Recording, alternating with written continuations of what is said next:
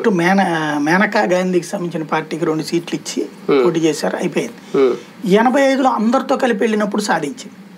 అప్పుడు కమ్యూనిస్టులకి బలమైన సీట్లు వచ్చినాయి బీజేపీకి బలమైన సీట్లు వచ్చినాయి అందరూ కూడా. అప్పుడు ఏంటి ఎన్టీఆర్ని గద్దె దించడం ఆ టైం.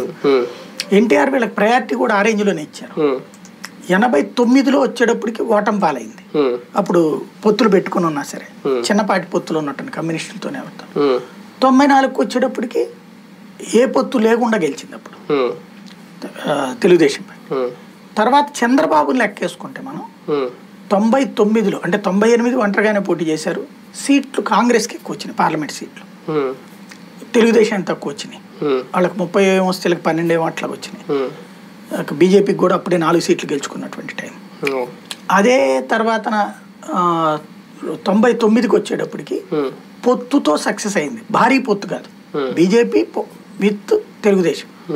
Telugudesam with BJP అంతే.